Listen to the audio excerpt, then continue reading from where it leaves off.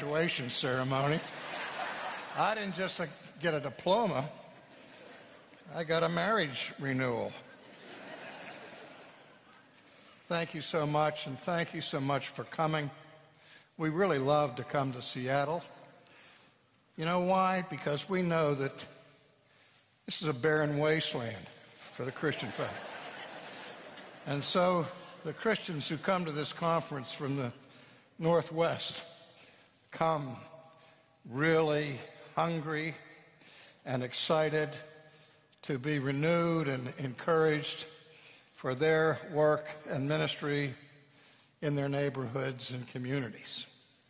And so, again, thank you very much for being a part of this. I'd like to take a moment to read a, a portion from the Gospel according to St. Luke, beginning at chapter 13 and verse 22, which will be my text for this afternoon. He went on his way through towns and villages, teaching and journeying toward Jerusalem. And someone said to him, Lord, will those who are saved be few? And he said to them, Strive to enter through the narrow door, for many, I tell you, will seek to enter and will not be able. When once the master of the house has risen and shut the door, and you begin to stand outside and to knock at the door, saying, Lord, open to us, then he will answer you, I do not know where you come from. And then you will begin to say, We ate and drank in your presence, you taught in our streets. But he will say, I tell you, I do not know where you come from. Depart from me, all you workers of evil. In that place there will be weeping and gnashing of teeth. When you see Abraham and Isaac and Jacob and all the prophets in the kingdom of God, but you yourselves cast out. And people will come from the east and the west, from north and south, and recline at table in the kingdom of God. Can you pray with me? Our Father and our God, as we contemplate in this hour the abysmal spiritual condition of this world and of our nation, we know that our only hope is in you and in your redemptive power. And so we plead that by thy Spirit you will give us the capacity to rest our confidence and our hope and you and to rejoice in your reign as our King. For we ask it in Jesus' name. Amen. So far throughout this conference, we've looked at various questions of how the culture came to be what it is through past endeavors. And we could answer that question by pointing to various watersheds in human history. Before Socrates and Plato and Aristotle came on the scene as ancient philosophers, there was a widespread period of skepticism, which some have called the birth of humanism, with the philosopher Protagoras, whose motto simply was this Homo mensura, meaning man the measure. The idea was that man is the measure of all things. But I don't for a minute think that Protagoras was the real father of humanism. I think the father of humanism predated Protagoras when he approached the young woman and said to her, You shall be as gods. So the birth as we've heard repeatedly in this conference, of the secularism and materialism that we've been examining was in Genesis 3. But in terms of more recent history and various watersheds that have taken place, we've looked at the powerful influence of Charles Darwin and others. But I'd like to consider another point in the history of theoretical thought before I get to this text. In the year 1776, some colonists penned the Declaration of Independence, which provoked a war called a Revolutionary War that lasted until 1783. And many historians have argued that the American Revolution was the most significant revolution in the history of Western civilization. now, I don't deny that that was a significant revolution, but I personally believe that there was a more significant revolution that took place five years after the writing of the Declaration of Independence.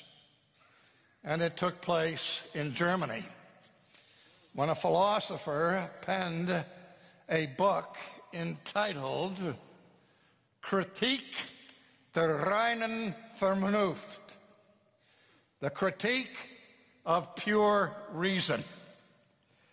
The heretofore obscure philosopher Immanuel Kant had been moved to write this critique by one of his philosophical predecessors from Scotland, David Hume, who took the philosophy of empiricism, which was the major movement among scientists at that time, to a conclusion of radical skepticism.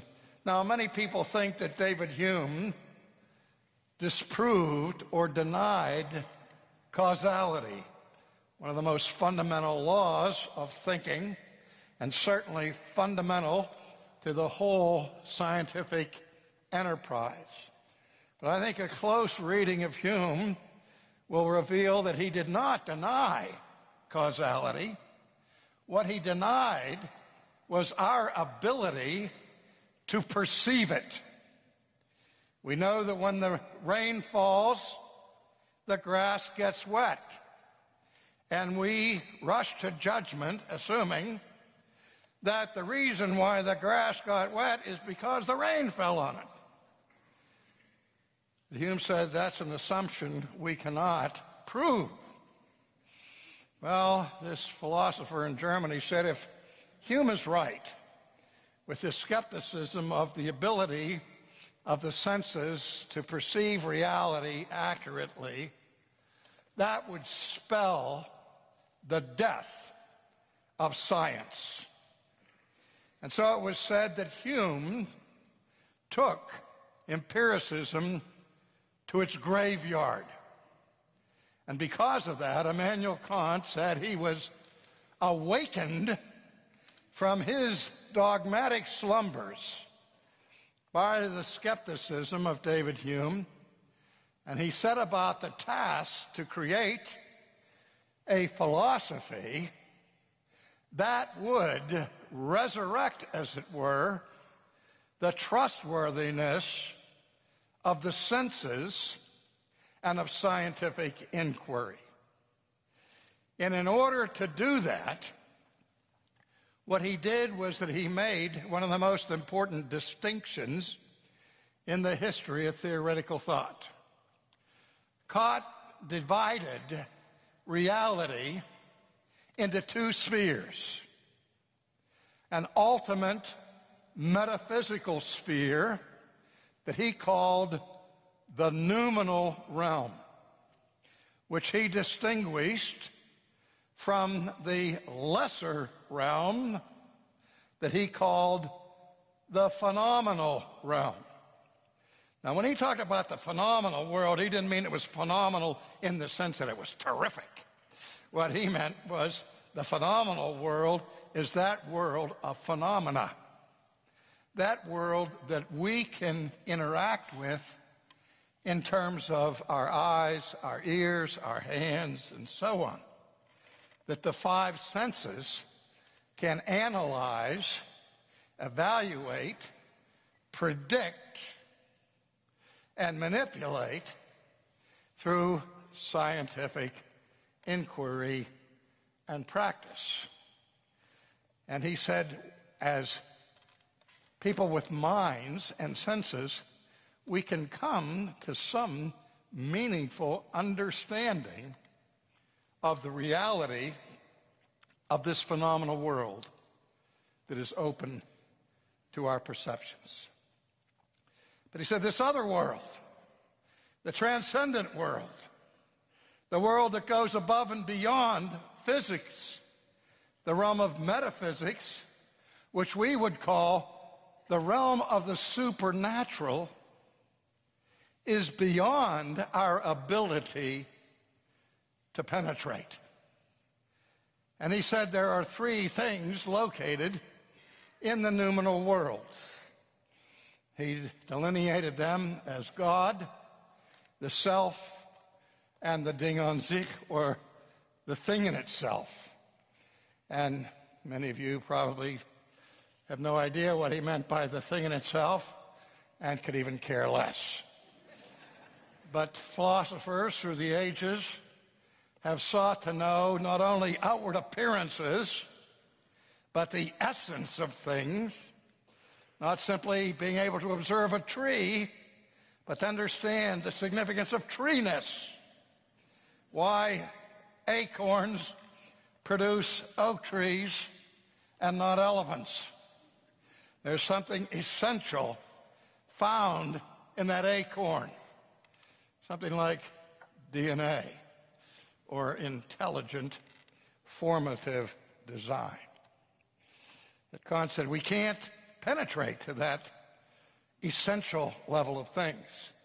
Nor can we know with any degree of reasonable certainty the nature of the self. Something we take for granted. That we are selves, that we are persons, that we have souls. But no one has ever measured a soul. No one's ever looked at a soul under a microscope. The non physical aspect of our human existence and personality is unknowable through scientific inquiry. Well, so far, so bad. The ultimate problem came with the location of God in the noumenal world, beyond the reach of scientific inquiry. Now, again, Kant didn't say there's no God. What he's saying is if there is one, we can't know anything about him. Because you can't get to the noumenal realm from the phenomenal realm. Another philosopher of the same basic generation, Lessing, said that there was an unbridgeable chasm between the phenomenal world and the noumenal world. This became known as Lessing's ditch. It's so wide, you can't get over it. It's so deep, you can't get under it.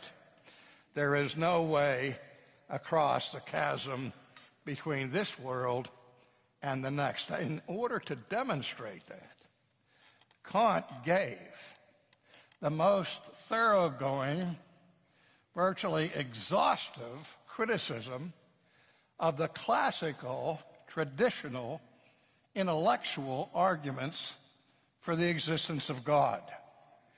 Such arguments were the glue of the medieval university that said that, God, that theology is the queen of the sciences and philosophy, her handmaiden.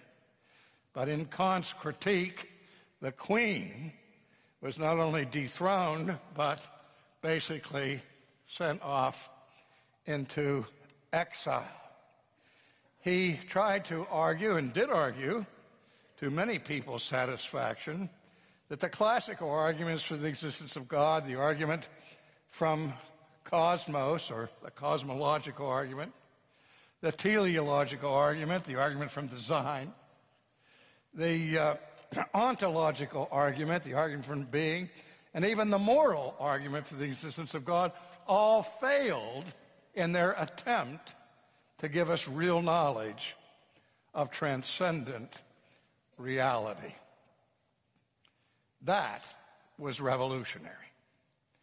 Because prior to that, even though not everybody in the world was a theist and every professor in a university in Europe would admit to existing the existence of God, it was politically incorrect to deny the existence of God because it seemed that the arguments for his existence heretofore were so compelling that no rational creature, no educated person would dare to challenge those conclusions until Kant's critique.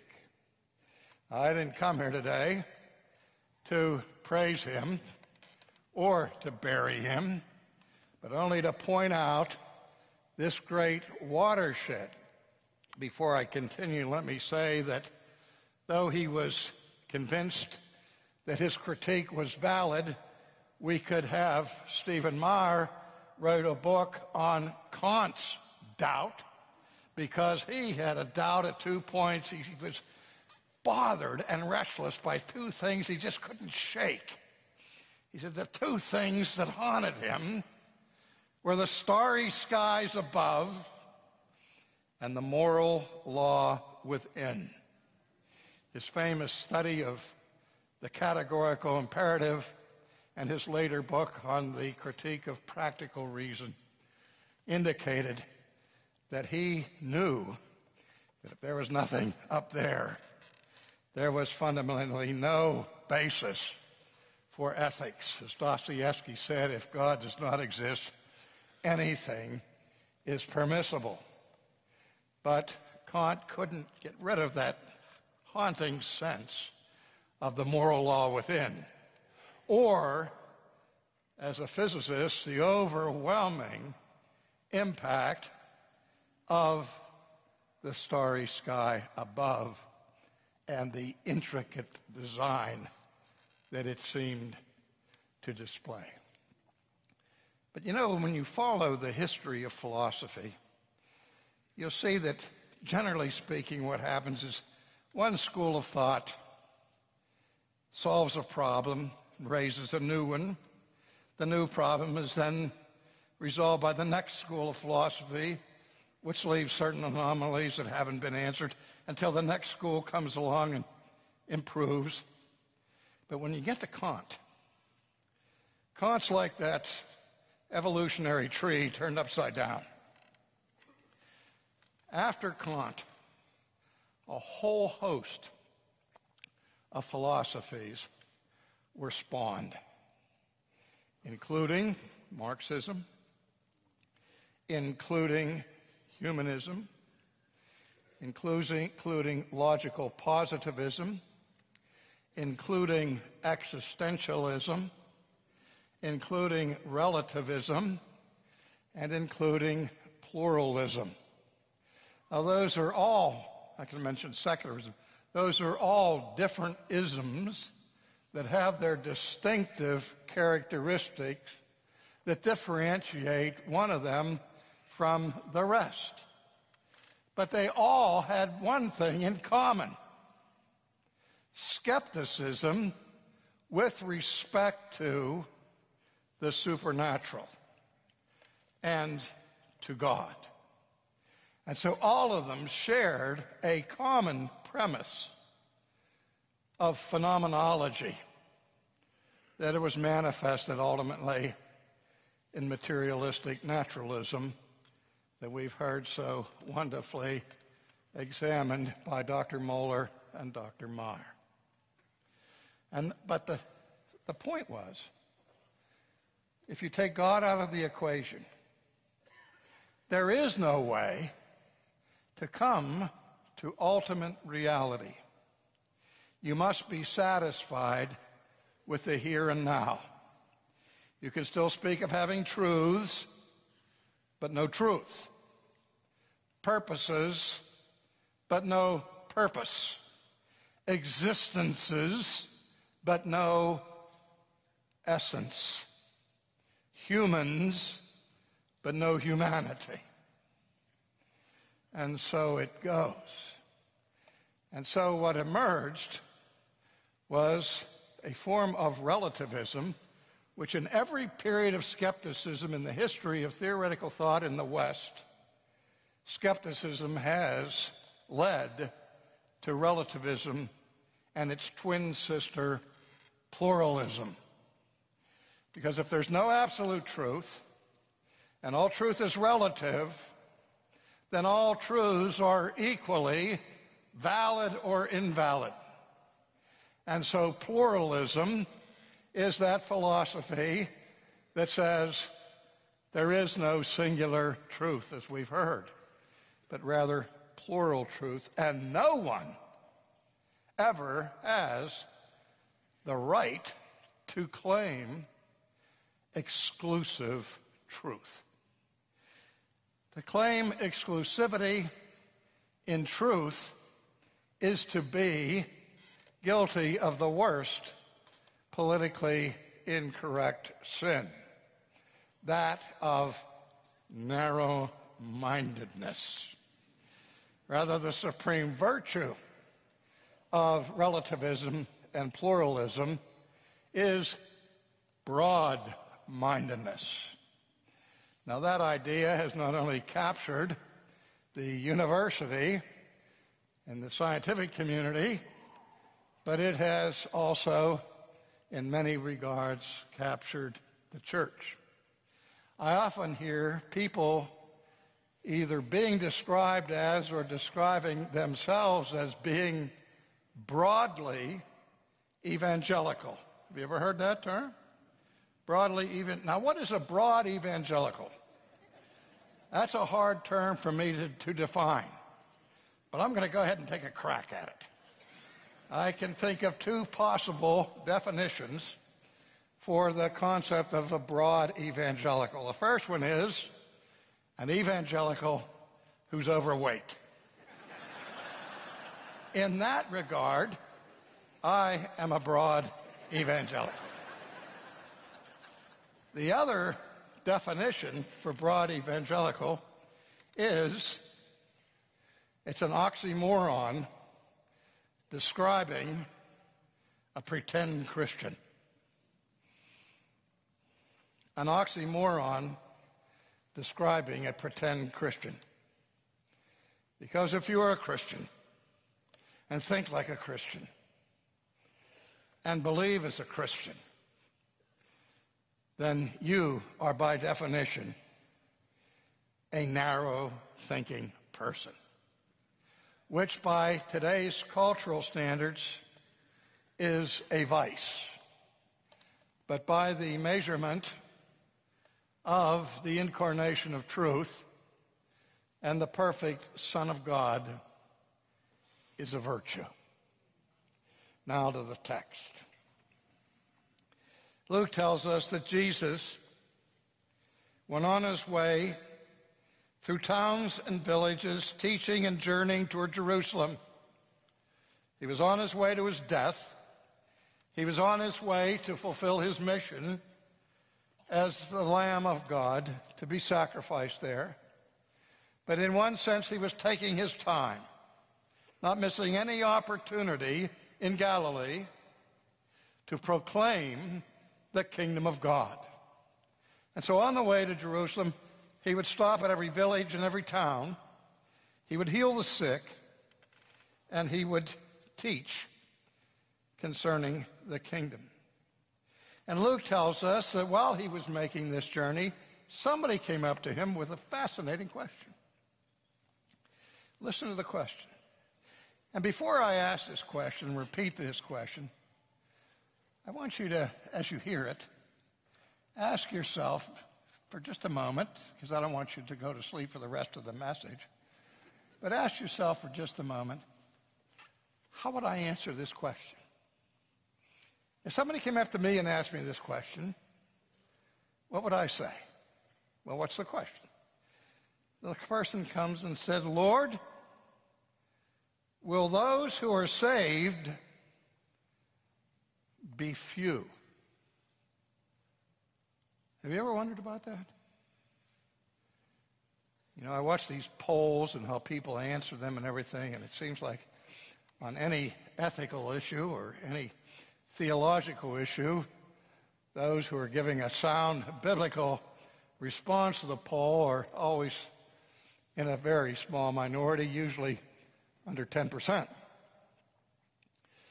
And you wonder when you hear these things, how can so many people be so desperately wrong? And what in the world and what out of the world will happen to these people? Will a majority of people who have ever lived on this planet go to heaven? Or will it be just a remnant? Will the majority of people who are alive today go to heaven? Or will they go to hell?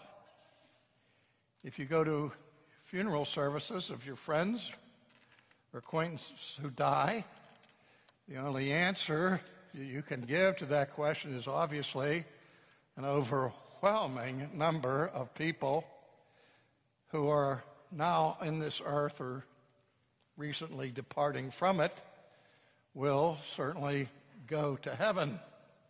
Hell must be reserved for people like Hitler and Stalin, Idi Amin, and those guilty of the worst kinds of atrocities against humanity. But when you go to funerals, you know, I've never been to a funeral where the minister said, Our poor departed brother is roasting right now in hell. Have you ever heard that? Now, in our supreme doctrine of justification in America is not justification by faith or even justification by works, but justification by death. All you have to do to go to heaven is to die because obviously the overwhelming number of people, so broad and wide is the mercy and great grace of God, that almost everybody gets to heaven. Isn't that right, Jesus? Or is it a minority? A small minority? A few? Well, how does our Lord answer that question? He answers it a couple of ways that I want us to consider. Lord, will those who are saved be few? And he said, strive to enter through the broad door because there is so much room in that broad door. And that road is so wide that it'll never get too crowded. Am I inching towards catastrophe?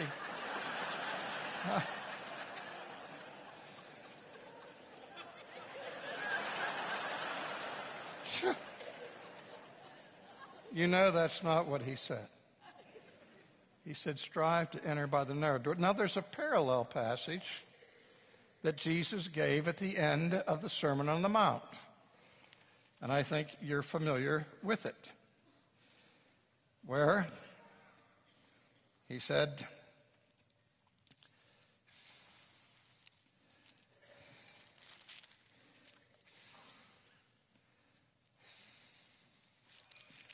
at least it's in my Bible.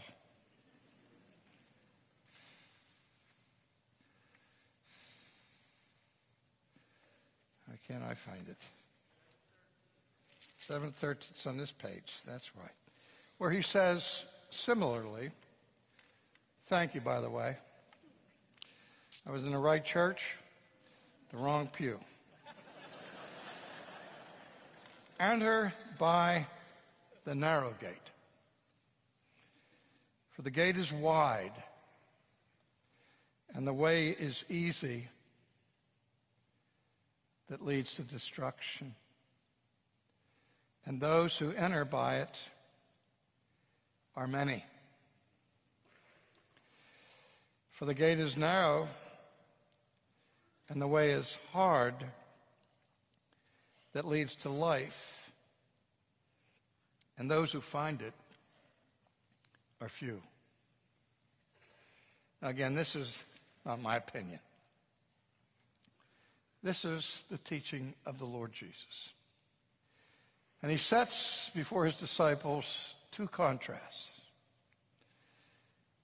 a narrow way and a broad way, or a straight way and a narrow door, and a wide way and a broad door. And the other contrast is with respect to the number of those who go each way. Those who go the broad way that lead to destruction are many. Those who go the straight way to the narrow gate are few. Now, here's what I hear Jesus saying that most, if not the vast majority of human beings that you know and that I know are on their way to hell. And if they were to die tonight, would go to hell. He would also say to me, statistically, that there's a significant number of people in this room right now who, if they died tonight, would wake up in hell because they're on the broad way that leads to destruction. Now, Jesus is not denying justification by faith when he says strive to enter into the narrow gate, as he does here in Luke's version. Strive to enter through the narrow door. For many, I tell you, will seek to enter, but they won't be able. They think they can get through the narrow door by living on Broadway.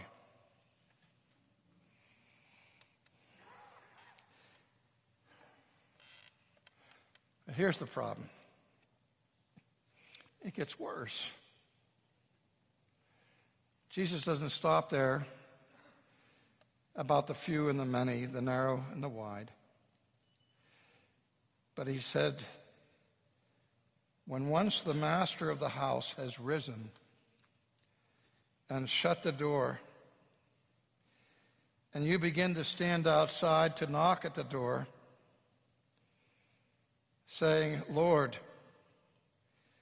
open to us. They don't just say, Who's ever in there, please open to us. They say, Lord,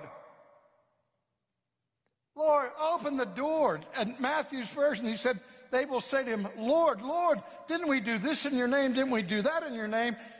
And Jesus said, And I will say to them, Who are you?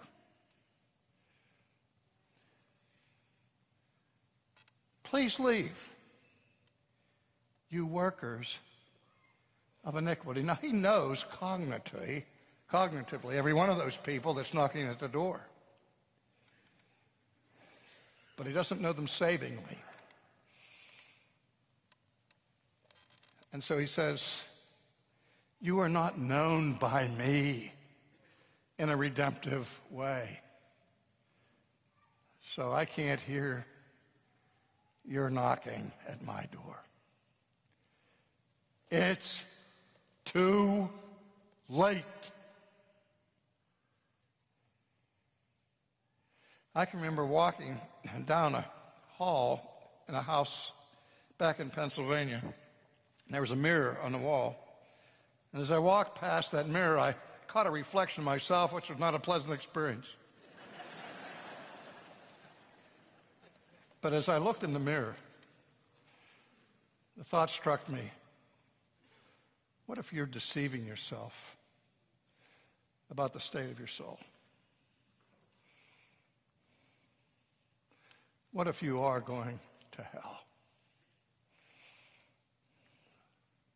I was terrified.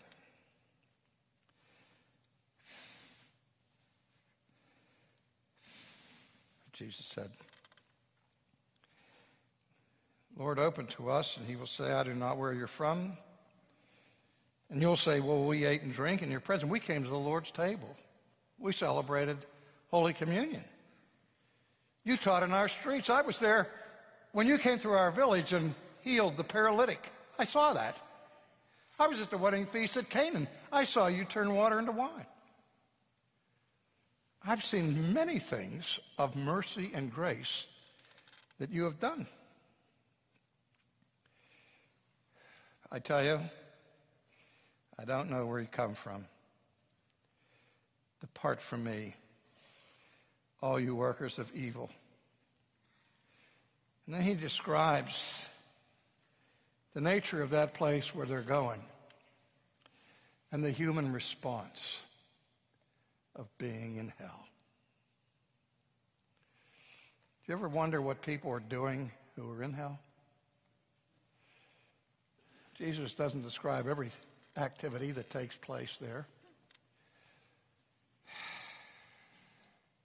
But he does describe two responses of humans who have been consigned there, where he says, In that place, there will be weeping and gnashing of teeth. Some people, when they wake up in hell, will be devastated. And they won't find enough water in their eyes to satisfy their need to weep. They'll be sobbing. Oh no, not here. Oh God, please have mercy upon me be the greatest disappointment they could possibly experience to wake up in hell. But then the other group will be there, won't be weeping a bit. They'll be gnashing their teeth,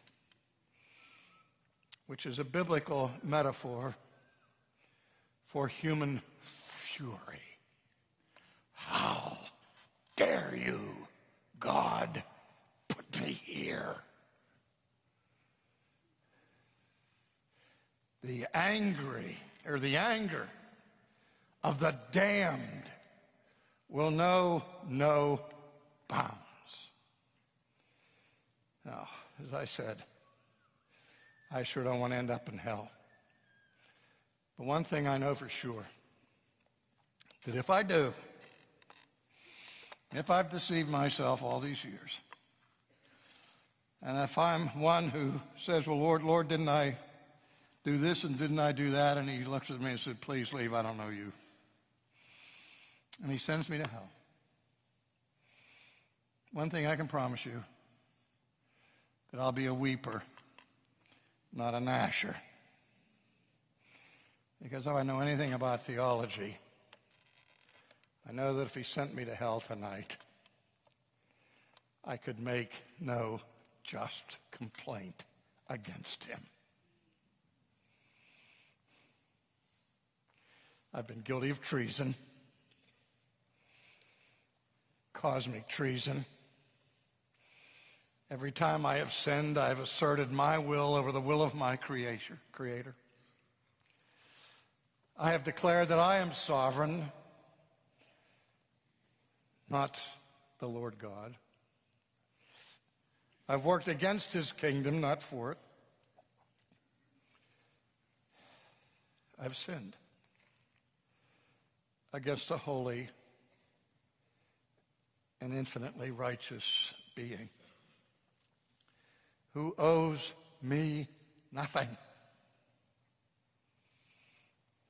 And if I wake up in hell, I will realize I've only received what my life has merited.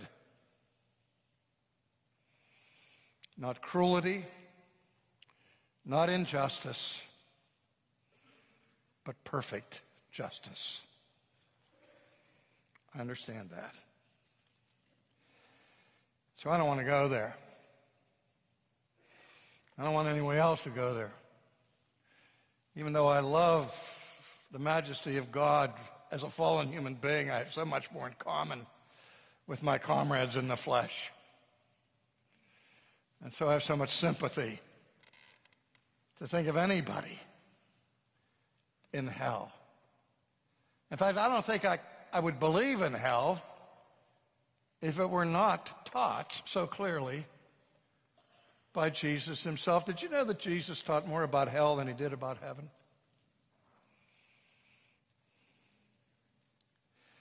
But I don't want to end on a hell of a note.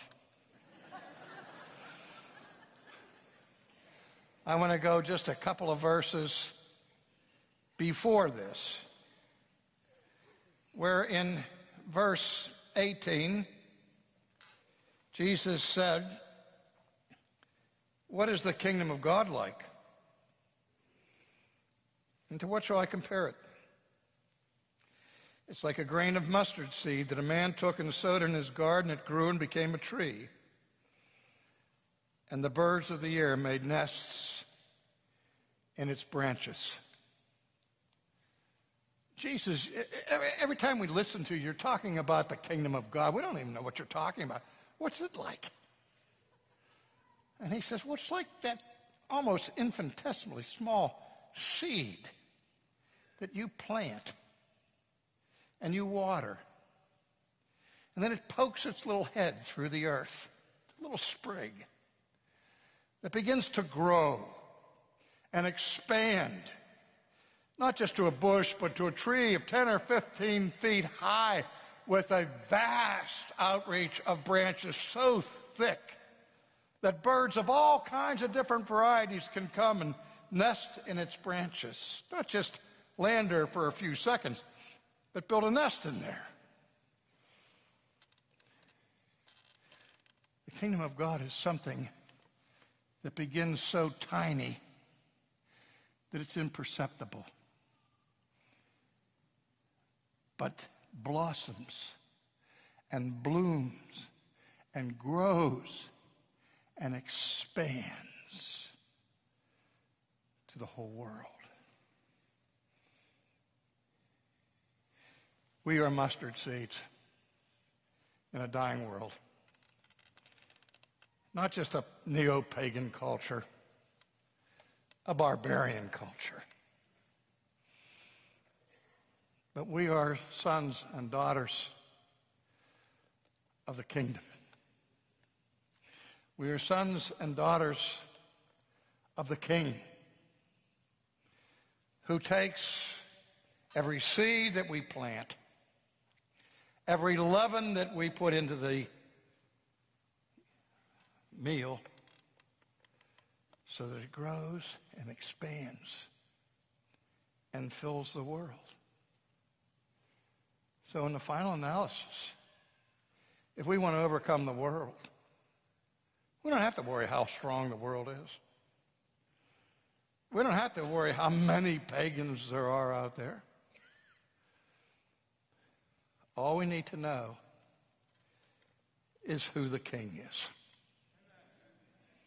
Because he's the one that will determine the destiny of this nation, this world, and this people. May you find yourself in agony. Because that's the word Jesus used when he says, strive to enter in the narrow gate. The word agon, which means use a Herculean effort. Work out your salvation with fear and trembling. Your works will never get you into the kingdom, but once in there, you're to work with all of your might. And like Pilgrim in Pilgrim's Progress, don't turn to the left or to the right.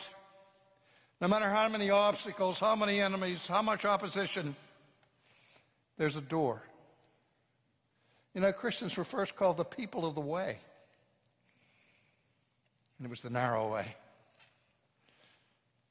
that leads to life. Tonight, as you put your head on the pillow, I plead with you to ask yourself, am I numbered among the few or the many? God, grant that your answer will be among the few. Let's pray. Father, we thank you for the truth of your word, for the comfort that you are determined to save your people, that you have given to your Son, that no one can snatch out of his hands.